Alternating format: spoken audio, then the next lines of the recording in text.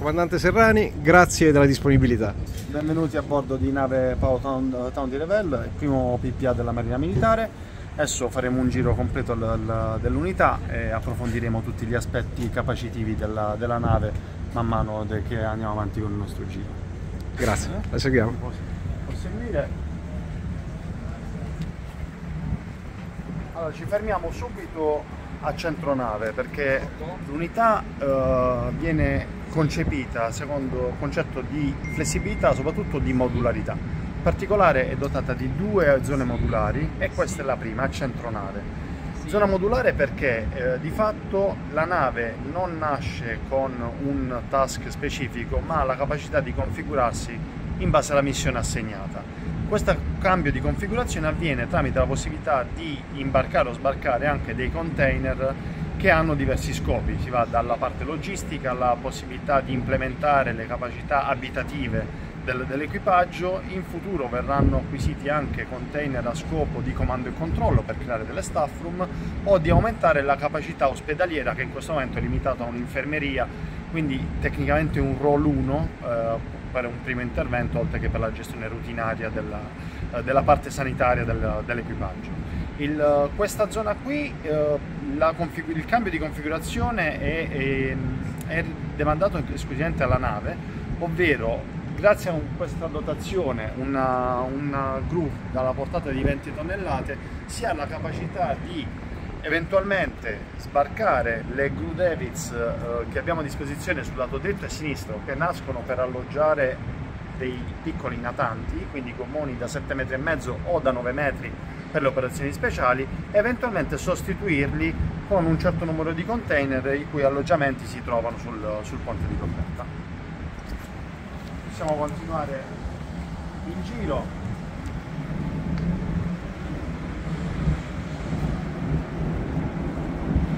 Lei ha assunto il comando a dicembre questa, assunto, dello scorso anno? Io ho assunto il comando il 30 dicembre a Dubai, mentre la nave era impegnata nella missione Agenor ho portato a, a completamento la, la missione, l'unità ha fatto rientro in sede il 27 gennaio e dopodiché è stata ferma per un uh, piccolo periodo per attività manutentiva di livello diciamo uh, minore dopodiché ha ripreso il mare dal 15 marzo fino al 5 maggio periodo in cui ha operato per la prima volta in un dispositivo NATO uh, assegnato al gruppo standing delle forze navali della NATO nel Mediterraneo centro-orientale e poi nella, nel mese di aprile, nella seconda metà di aprile, ha anche partecipato alla fase finale dell'esercitazione mare aperto 23-1. La cosa che colpisce subito sono le scalette da una facilità. Sì, sì, sì, questo è il trunk scale principale, è quello più, più agevole, è il, che ci conduce dal ponte di coperta su fino alla COC e la PLOC, che sarebbe dove risiede il Naval Cockpit.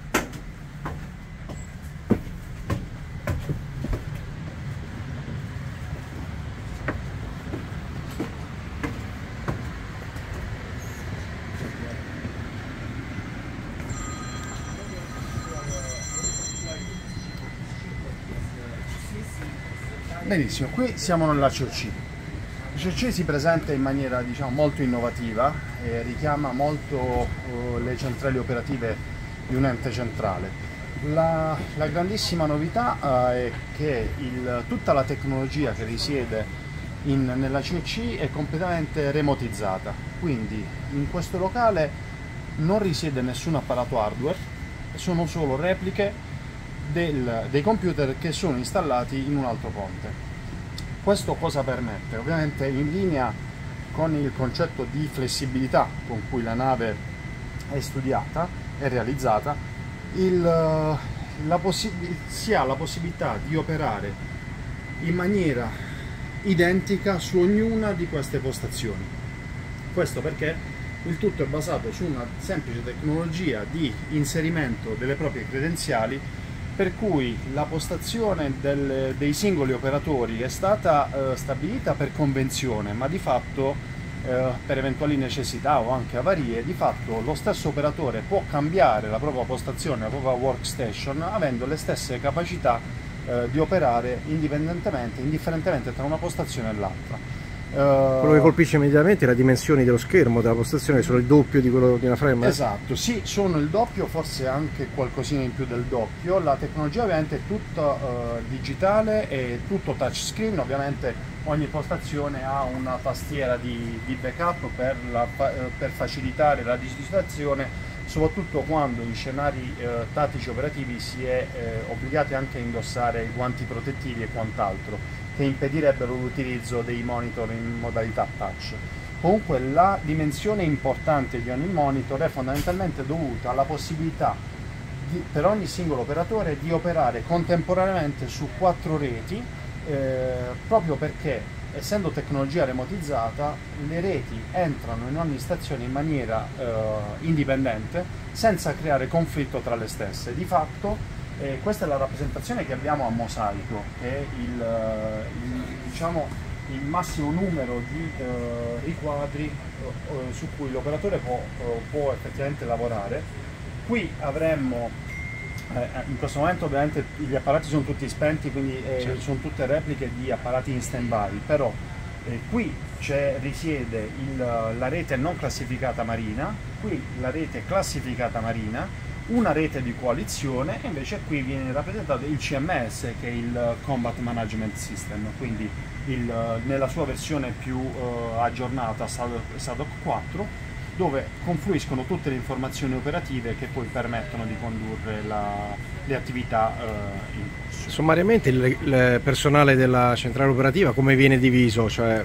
Allora, il, il, personale del centro operativo ovviamente la, la nave quando impegnata in attività eh, assu può assumere diversi ruoli a seconda del livello eh, operativo dello scenario in, in, corso, quindi si passa, si parte da un livello operativo addestrativo, quindi con una turnazione di persone di guardia sul famoso 4-8, quindi 4 ore di guardia e 8 ore di riposo comunque da dedicare ad altre mansioni, eh, piuttosto che a ehm, situazioni in cui è richiesto uno sforzo uh, in termini di manning del personale più inten intenso dove si passa a una turnazione di due squadre, quindi l'equipaggio viene diviso in, in, due gruppi, quindi anche il numero di operatori aumenta, fino al massimo livello di degrado dove ho bisogno che tutto l'equipaggio sia, uh, sia operativo in COC piuttosto che nel, nelle altre articolazioni di bordo in base ovviamente alle proprie competenze e specializzazioni.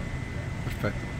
Uh, la nave uh, in generale, ecco, per dare qualche informazione generale su Town di Revel, è la prima della classe e come tale è, nasce nella configurazione light, uh, quindi è fitted for, quindi ha tutte le predisposizioni per un futuro aggiornamento alla versione full in questo momento la versione light la nave eh, presenta un dislocamento a peso massimo di 6.700 tonnellate, una lunghezza di 143 metri e a livello di sistemi d'arma dispone di due sistemi di artiglieria 127-64 a prora 76-62 sovrapponte a poppa, è un, uh, è un modello prototipico tra l'altro, più uh, il piccolo calibro, ovvero le mitragliere da 25-80 che a differenza delle frame è un sistema completamente remotizzato. Quando andremo nel, in plancia, eh, chiamata su questa nave PLOC, plancia operativa di combattimento e vi farò vedere perché questa, questa denominazione. I sensori, i radar eh, facce piatte però sono già quelli che gli stessi che potranno montare sulla, sulla versione full. Il radar, capacità. La, il radar in questo momento sulla versione light è sempre un radar a facce fisse che opera nella banda X-Ray. Nella versione full verrà implementato anche una banda Charlie. Ok, perfetto.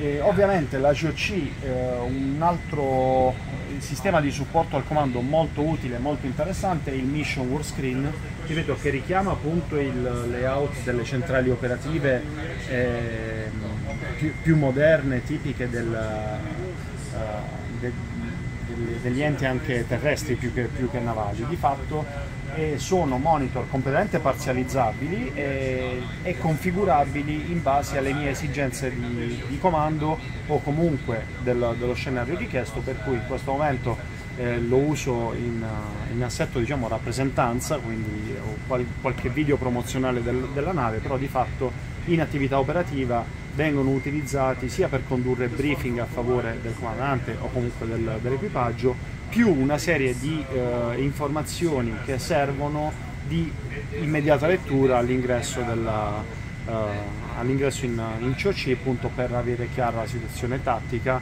e, e non solo. Uh, oltre alla replica del CMS eh, la possibilità anche di uh, avere in proiezione le immagini prodotte dall'IRST che è un sistema di uh, scoperta di superficie visual che opera anche nell'infrarosso e appunto permette, un sistema molto utile, è stato usato in maniera molto intensa soprattutto durante l'aggregazione con, con, la Nato, permette di avere una, una situazione tattica intorno alla nave con un buon range di scoperta, diciamo, parliamo anche di 8 miglia in condizioni climatiche meteorologiche positive. Sì, abbiamo realizzato da, da poco un approfondimento che pubblicheremo a breve è una grossa innovazione per questi 360 gradi costanti sì, per esatto. un'unità della Marina. Di fatto uh, il, il, sistema uh, si, si, parla di due torrette, la dritta a sinistra mi coprono 180 gradi ecco, uh, da prora a popolarità e, ripeto, è una grossa innovazione, sicuramente è un sistema molto molto interessante, molto molto utile perché, eh, ripeto, oltre alla capacità di scoperta dettata dal radar che trasmette comunque delle tracce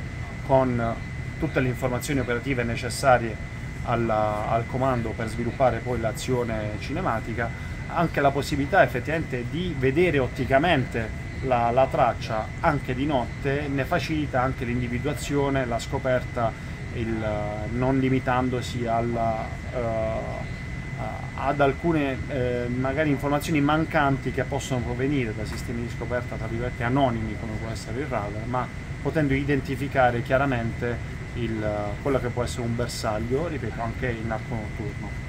Ottimo. Uh, penso che ci conviene fare il giro di, di qui.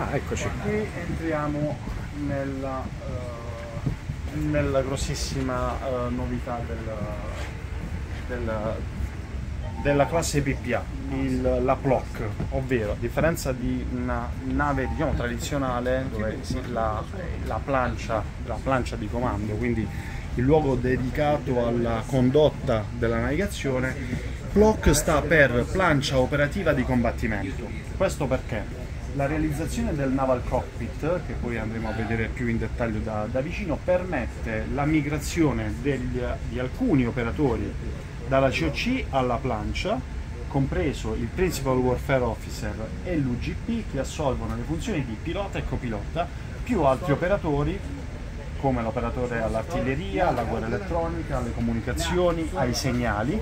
Quindi tutta la condotta dell'unità a livello operativo ma anche propulsivo, lo vedremo poi avvicinandoci al cockpit, può essere gestito qui.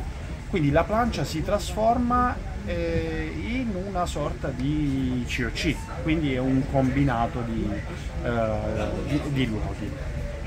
Non, il locale comunque comprende questa postazione chiamata ESC che è fondamentalmente la plancia tradizionale, quindi abbiamo il volantino per il timoniere, la sezione dedicata al, al, direttore di macchina per la condotta, la parte propulsiva, più un'altra postazione per quanto riguarda la condotta della navigazione con, eh, che richiama appunto il, il, radar di navigazione più la parte eh, di cartografia, la condotta eh, spicciola diciamo, la, del, del mezzo.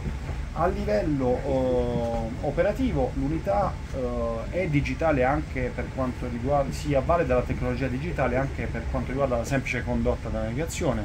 Abbiamo la cartografia digitale ECDIS, la War ECDIS, ovvero una, la possibilità di inserire informazioni operative nella parte cartografica, però ovviamente non ci facciamo mancare la, la tradizionale car carta nautica, il, insomma, in formato cartaceo come ultimo backup in caso di, di, di avarie su avarie, benché tutta la nave ha un sistema di ridondanze talmente tanto uh, importante che i livelli di degrado dovrebbero essere talmente tali e tanti da prima di portarmi a una condotta veramente tradizionale del, del mezzo ricorrendo a strumenti digitali o cartacei, eh, analogici o cartacei. A cui comunque vi addestrate. A cui ovviamente manteniamo l'addestramento, tant'è che eh, ciclicamente i giovani ufficiali sono ancora chiamati a condurre le famose il, uh, osservazioni astronomiche col sestante. Eh, quindi per mantenere insomma l'addestramento mantenere viva la tradizione, perché comunque sì, il, come marinai no? siamo orientati al futuro, alle innovazioni tecnologiche e questa nave porta un aggiornamento sul campo delle operazioni navali che è davvero mo molto importante però non ci sentiamo eh, in, nel, nella posizione da disconoscere quello che è stato prima di noi, quindi cerchiamo di mantenere vive le, le, tradizioni e certe forme di addestramento, benché possano sembrare anacronistiche, però mai dire mai. Insomma. Compresi i nodi con... Eh, compresi, compresi, compresi, i nodi, compresi il... insomma, tutta la tradizione marinara noi la, continuiamo a portarla avanti. Ovviamente compatibilmente con la tecnologia che insomma qui la fa un po' da padrona, diciamo. Ora, impressiona uh, la visuale da portaerei, insomma. La direzionale è molto portaerei. Adesso ci possiamo anche avvicinare alla a quella che è la vera, la vera innovazione, il, sì. il, il cockpit. Se, se, vuole sedersi così può avere una visuale ancora migliore, io l'aiuto nella okay. posizione. Sì. Ok, giù da sinistra. Ok. Benissimo.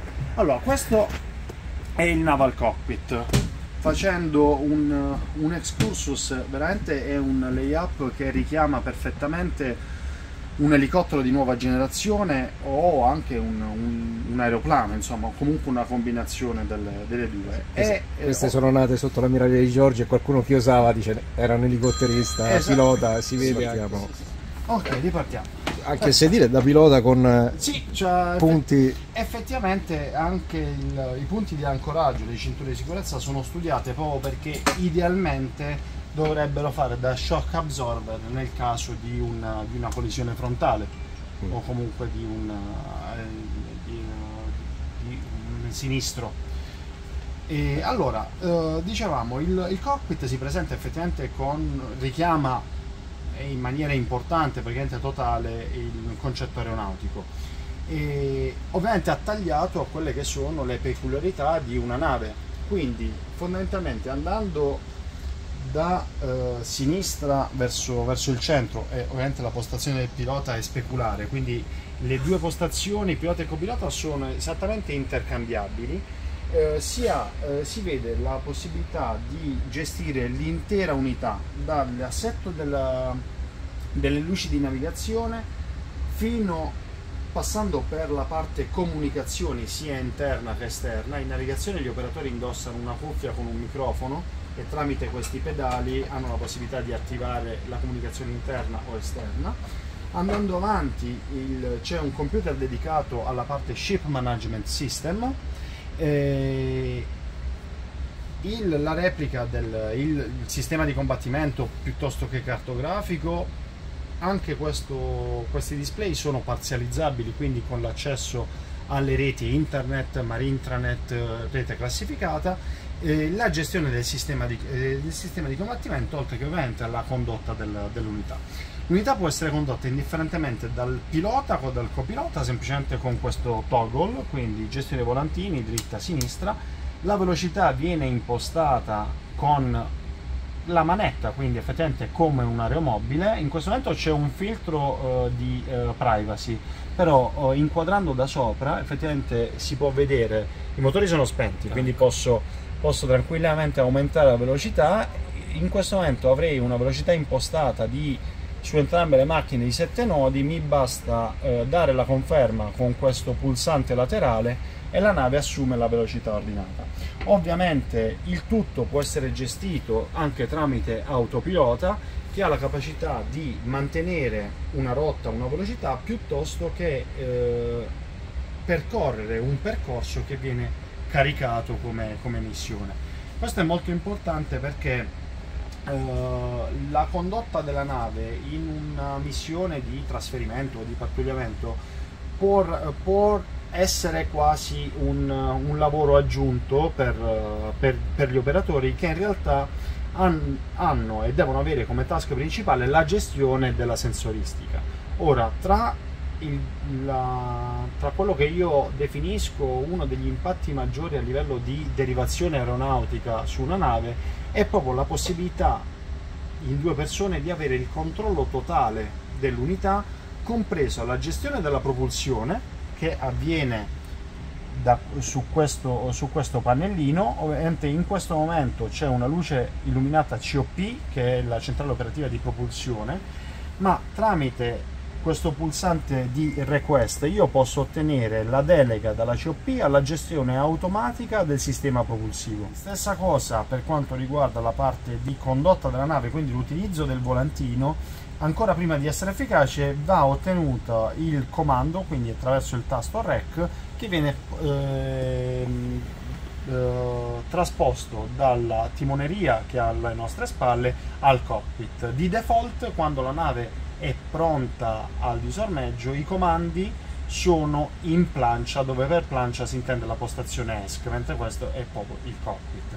Una volta acquisiti tutti i controlli, in due persone eh, è possibile gestire appunto tutta la parte a livello sensoristico, propulsivo e gestione delle informazioni da queste due postazioni. Ogni, eh, ogni operatore, pilota o copilota, appunto ha in dotazione eh, queste due tastiere removibili che vengono inserite in questo alloggiamento e permettono al pilota o copilota di gestire sui monitor la email, messaggi, eh, la gestione delle informazioni sulle reti classificate o non classificate.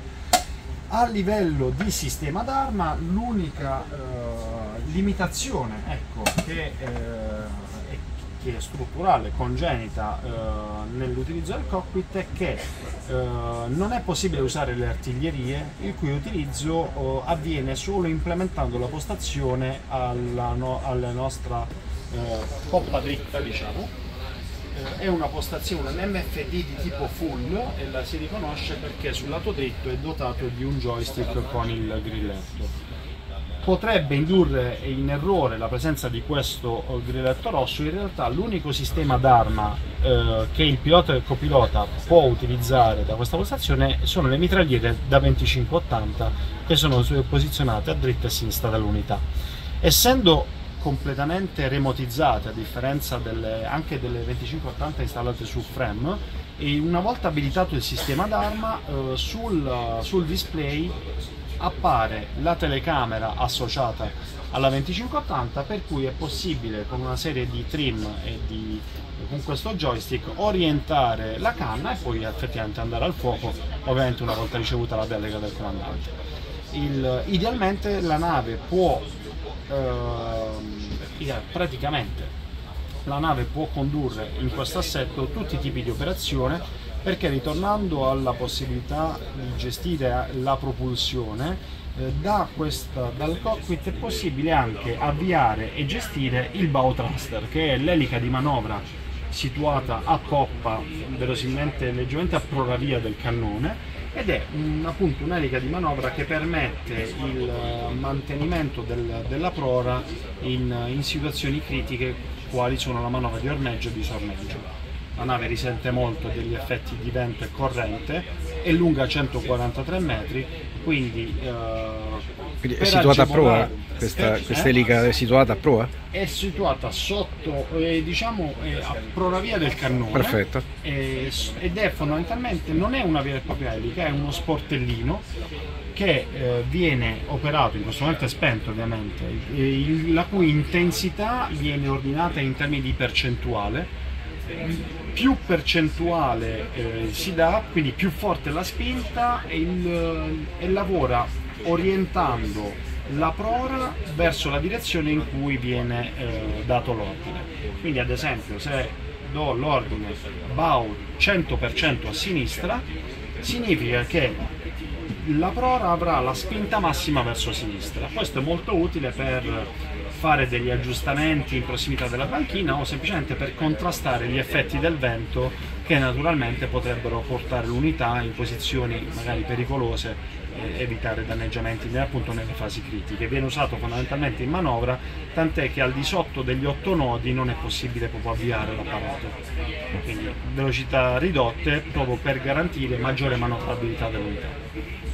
Beh, è un bel vantaggio rispetto alle vecchie unità. Beh, sicuramente insomma... mi rende più indipendente e non necessariamente vincolato dall'utilizzo dei rimorchiatori.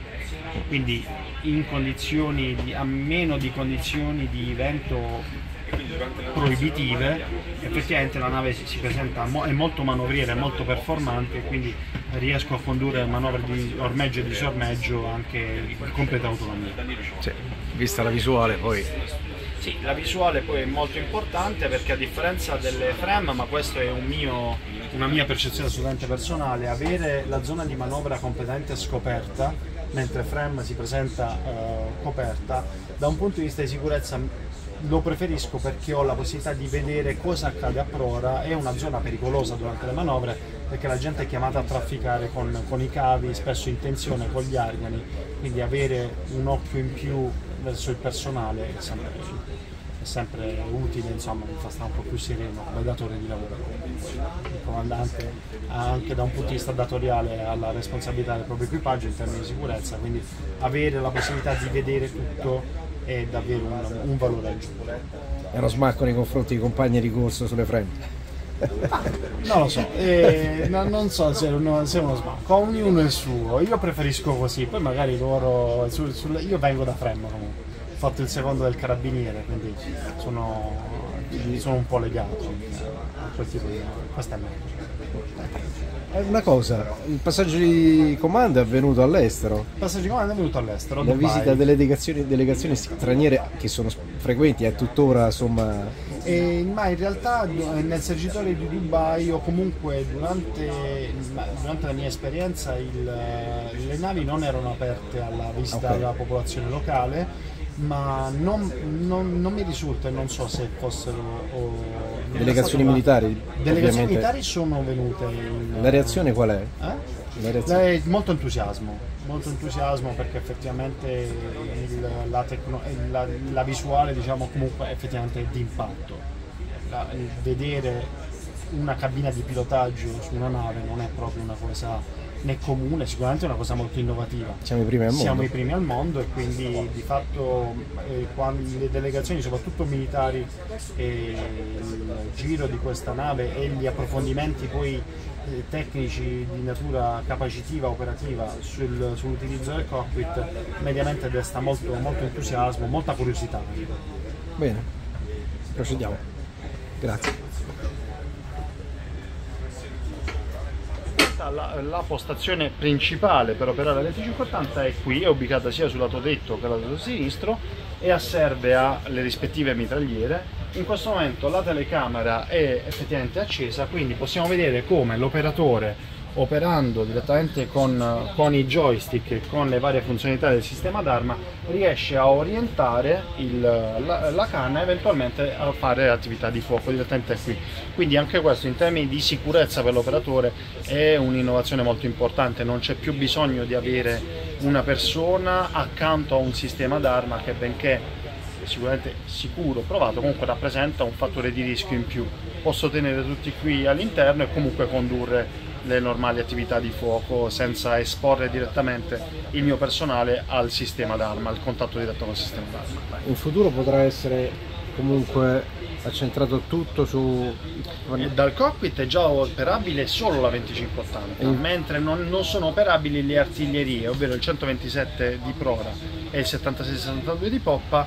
Eh, in questa configurazione l'operatore, il TSOP, quindi l'operatore, il direttore del tiro e l'operatore addetto all'azione di fuoco siederà qui che è una postazione esattamente paritetica a quelle che abbiamo visto in COC, eh, l'unica differenza è che nella versione full sono dotate appunto con questo eh, joystick, chiamiamolo così, con, con, grilletto e di questo mouse che permette gli aggiustamenti di fino per, l'azione di fuoco.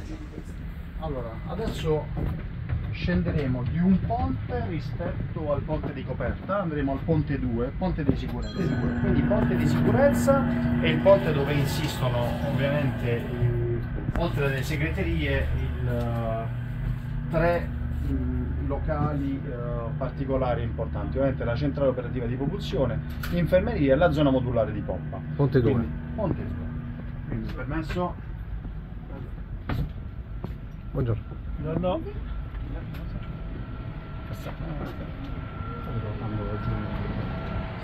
Eh, signor. Ah, ok. Allora, qui molto velocemente siamo nella centrale operativa di produzione. Buongiorno. Allora, eh, la nave da un punto di vista propulsivo si presenta in maniera molto complessa, però molto performante. La velocità massima esprimibile è 32 nodi, che si ottiene combinando la propulsione a turbina con la propulsione diesel. In realtà ha la capacità anche di avere una propulsione completamente elettrica attraverso due motori elettrici e, la, e, la, produzione di energia elettrica viene garantita tramite quattro diesel generatori oppure tramite gli stessi motori elettrici che su propulsione diesel vengono mandati diciamo, in rotazione a via versa e quindi producono energia. Il, uh, il, tutto può essere combinato grazie alla presenza di un grande riduttore che fondamentalmente agisce per accoppiamento di flange e frizioni e permette fino a 41 combinazioni propulsive diverse. La grossa innovazione rispetto a FREM appunto è rappresentata da tutta questa parte, ovvero la presenza di due motori termici principali, questo riduttore, il, questo riduttore e quindi la possibilità anche di andare in propulsione con un solo motore su entrambi gli assi, cosa che sulle altre navi non è possibile fare. Un'altra cosa molto interessante di questa nave e secondo me anche molto attuale è la possibilità di eh, produrre energia erogabile all'esterno non siamo autonomi in questa, in, que in questa fattispecie, ov ovvero abbiamo bisogno che a terra vengano installate delle predisposizioni a livello di convertitori, piuttosto, eh, di convertitori di energia, però è stato stimato che la capacità di produzione elettrica di questa nave potrebbe alimentare un paese di 15.000 anime in, colpito da distress. Ovviamente non solo produzione di energia elettrica, anche possibilità di eh, produrre acqua ad consumo umano. Quindi qui la nave si presenta tra le varie possibilità anche come impiegabile per operazioni di disaster relief. Sempre per 15.000 persone? Più o meno quella è la stima, sì.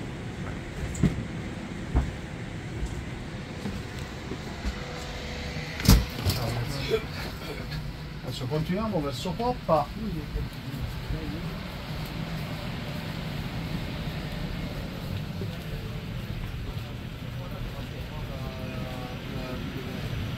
Su questo ponte, oltre il, appunto, questi locali più sensibili, risiedono anche del, una serie di alloggi destinati al personale della categoria sottufficiali, mentre nella zona prodiera dello stesso ponte eh, ci sono la mensa equipaggio e il quadrato marescialli, mentre il quadrato ufficiali, quindi la mensa dedicata agli ufficiali, è al ponte di coperta sopra. E infine, per completare il, il giro della nave entriamo nella zona modulare di poppa che è una eh, che forse è l'aspetto ancora più interessante da un punto di vista capacitivo del, della nave. Qui siamo esattamente sotto il ponte di volo e questa zona appunto così come descritta la zona centrale della nave è completamente configurabile in base alla missione assegnata.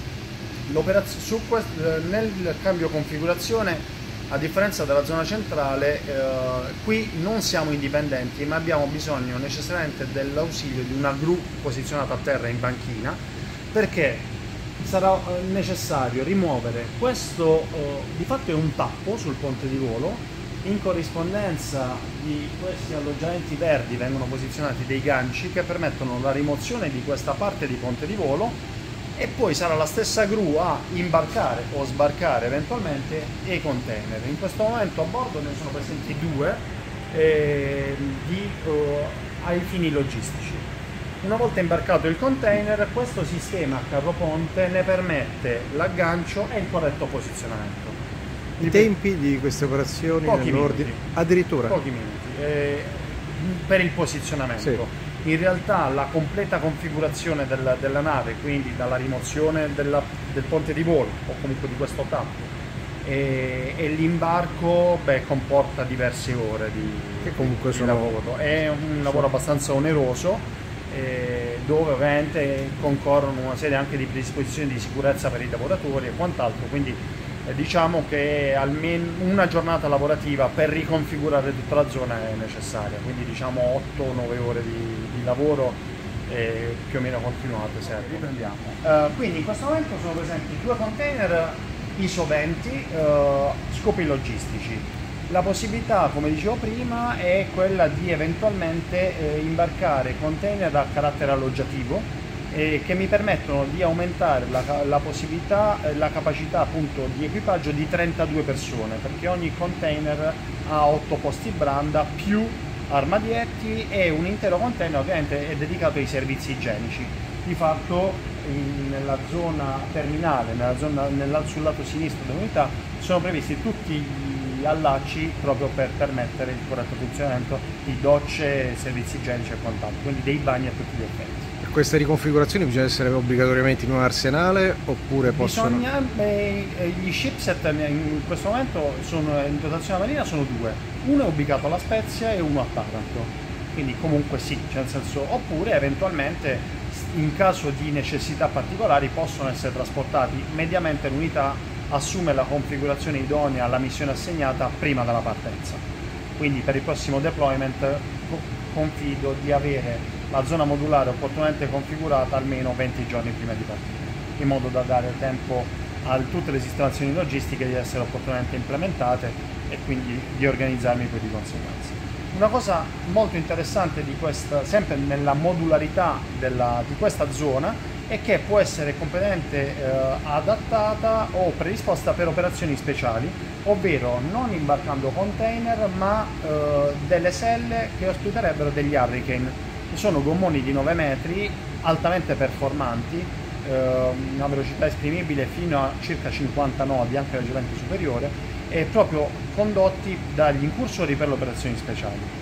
E questo è possibile perché il, non siamo all'estrema poppa dell'unità, ma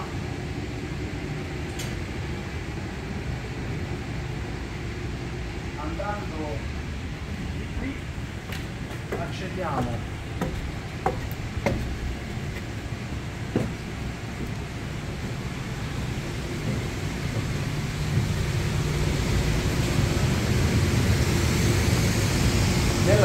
zona portiera della, della nave, quindi in, su questa sella viene alloggiato appunto un hurricane che eventualmente può essere integrato, quindi il team, la, il gruppo di natanti può essere implementato poiché quel portellone grigio è scorrevole, quindi si apre, il sistema a carroponte che abbiamo visto di là garantisce la movimentazione trasversale, mentre quest'altro carroponte ne garantisce il pick up longitudinale. Quindi una volta aperto il portellone di poppa, il, uh, il, non è un vero bacino galleggiante, però entra acqua che permette alle eliche di entrare in acqua e bagnarsi e, e quindi il, uh, i mezzi sono uh, abilitati ad andare in acqua. La nave è stata testata per rilasciare queste, questi gommoni fino a una velocità di 12 nodi e personalmente ho trovato un buon equilibrio con 8 nodi e anche un mare, uh, mare 3, quindi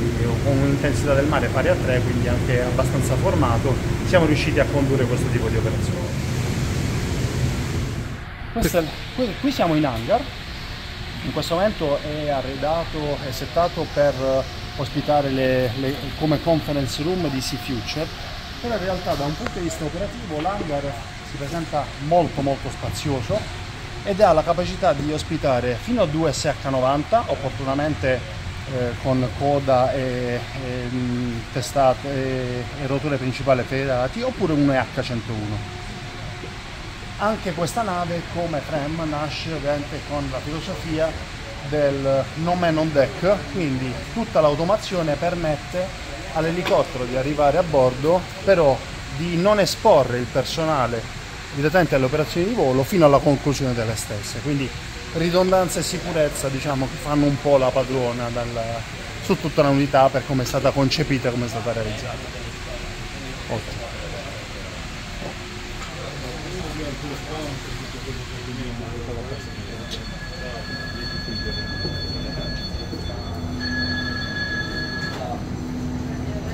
È arrivato la